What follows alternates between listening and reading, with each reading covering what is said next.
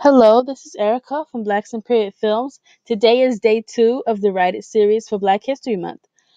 Today is February 2nd, 2017, and on January 2nd, 1898, Sadie Tanner Mossell was born. Born to an illustrious family in Philadelphia, Sadie Tanner Mossell Alexander went on to lead a long life full of accomplishments, including many firsts, like being the first African American woman to receive a PhD in economics in 1919, or being the first woman to receive a law degree from the University of Philadelphia Law School, and the first African American woman to practice law in Philadelphia and Pennsylvania in 1927. We see additionally, she also was chosen as Woman of the Year in the comic book Negro Heroes by the National Urban League in 1948. Her, many of her accomplishments are still visible today, uh, one especially in the form of a school named after her, named Penn Alexander, and the school is located in West Philadelphia. When I first saw Sadie's picture, the first actor that came to mind was um, China Anne McClain because of how similar they look. I know everyone sees different features when they look at people, and they some people might think that they don't look the same, but I'll explain why I think that they look similar. They have completely different noses, but aside from that, their eyes are the same. They have similar lips, chin areas, and I also think they both have very high cheekbones. So I think China Anne McClain would be perfect for this role. Um, now, many people might know her from when she was a cute little girl, and she played in the Tyler Perry series House of Payne and the Tyler Perry film Daddy's Little Girls. But since then, she's on, gone on to do a lot of work for Disney Channel, even having a lead role in the series Ant Farm. She's an adult woman now, and so I think playing Sadie and Sadie would be a great role for China Anne McClain because it would allow her to take on an adult role and a meaty role, but she would not have to do anything that might isolate her younger fans.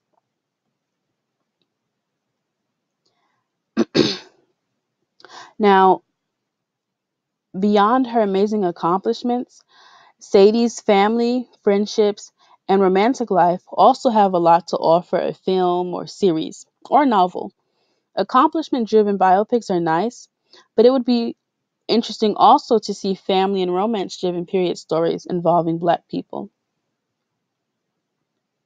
So, starting with her family, as mentioned before, she comes from a very illustrious family. And they have so many accomplishments that I could do an entire video series on each of them separately. But since I'm focusing on her, I'm just going to give a little bit of tidbits from her family. Her father Aaron Albert Mossell II was the first African American graduate of the University of Pennsylvania School of Law. Of course, we know that she followed in his footsteps. Her siblings. Now we see this is her, little Sadie, and her older sister, Elizabeth, became Dean of Women at the Virginia State College, which is a historically black college. Their older brother, Aaron Albert Mossell III, who isn't pictured, um, became a pharmacist in Philadelphia. Her uncle, Nathan Francis Mossell, was the first African American graduate um, of the University of Pennsylvania School of Medicine, and he helped found the Frederick Douglass Memorial Hospital and Training School in West Philadelphia in 1895. In addition to her uncle, her aunt, Halle Tanner Johnson, uh, a pharmacist, a phys- uh, established the nurses' school and hospital at the Tuskegee Institute in Alabama. Um, she was a physician and she helped found that school. So we see we, she has multiple people in her family that were successful, and um, all of them are really amazing. It clearly runs in her family the way that they lived their lives, and I think a family saga would be an interesting series to watch. Beyond her family, we have her friendships. We see this picture to the left. She attended high school in Washington, D.C., um, the M Street School, which is a really famous school for young black people at this time. She went to Dunbar High School and graduated, which is now called Dunbar High School, by the way, and she graduated in 1915. Um, during her time in high school, she lived in Washington, D.C. with her uncle, Louis Baxter Moore, who interestingly was the dean at Howard University. So her life during her high school years would also be an interesting film. Um, watching her go through high school with her friend and her uncle as the dean of the, the, the nearby university. We see this picture to the right is her doing her time in college, and she was the first national national president of Del- of the Delta Sigma Theta sorority, and she was the president from 1919 to 1923. We see her and her group of friends. They they're so nicely dressed and so poised and put together. A film about them would be great. I really, really love to see them in the fashions of the periods, you know, getting boyfriends, losing boyfriends, passing tests, failing tests, you know, having arguments, making up, dancing, having fun. That would be a great and entertaining film, or even a series about their time in college. And lastly, romance. Now, what is a period film without romance? And she had um, a big romance in her life with the love of her life, Raymond Pierce Alexander. They met during their time at Penn- Pennsylvania University. They met, fell in love, and unlike her, he had been born in a working class family. And this, however, did not stop him from achieving great things. He went on to attend the University of Pennsylvania on a mer- merit scholarship.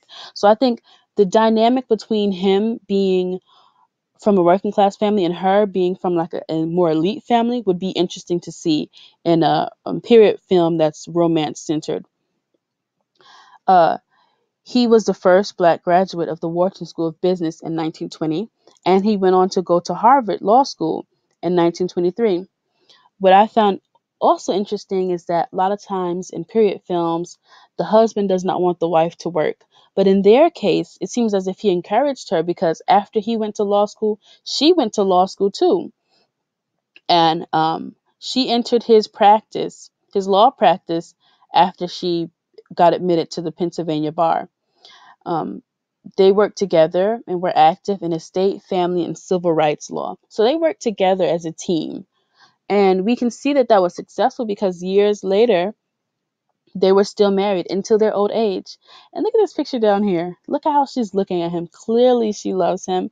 Here's a picture with their children and their family surrounding them, their children in the back. They they were so in love, and that would be a wonderful romance period film to have. Um, so whether you want to do a saga about her family, whether you want to talk about her friendship or her time in college, or whether you want to go from the angle of her romance. Sadie Tanner Mossell Alexander led an amazing life, and I really want to see something with her in it or with a woman like her in it. So she led a great life. Now go and write it.